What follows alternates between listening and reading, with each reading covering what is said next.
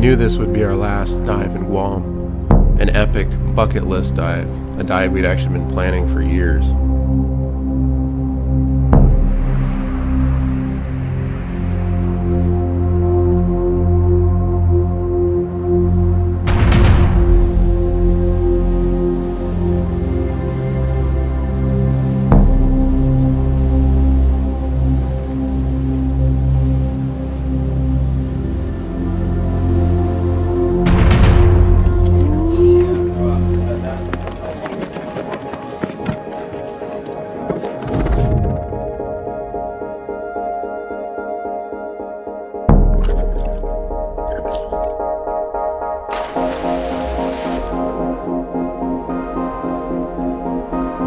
The SMS Cormoran is a German merchant raider from World War I that was scuttled in 1917 in Apra Harbor to keep her from being captured by U.S. forces.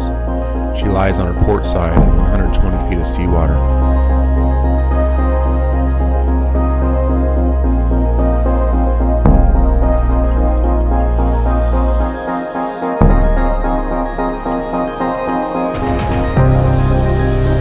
Tokai Maru is a Japanese military transport ship from World War II that was torpedoed and sunk by a U.S. submarine in 1943. She settled right next to the Cormoran on her port side as well.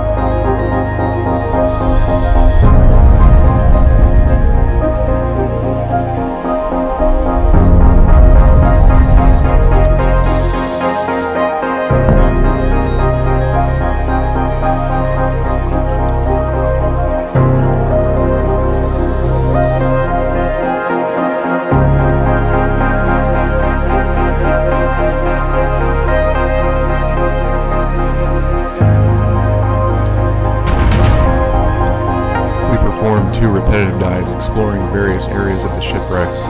One of the coolest parts of the dive, though, is touching the hulls of both ships simultaneously. One of the few places on Earth that you can span wrecks from different world wars.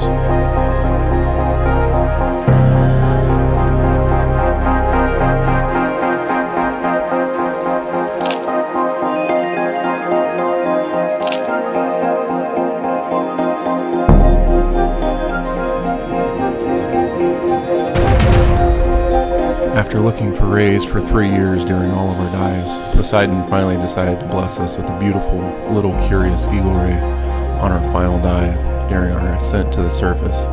What a last dive!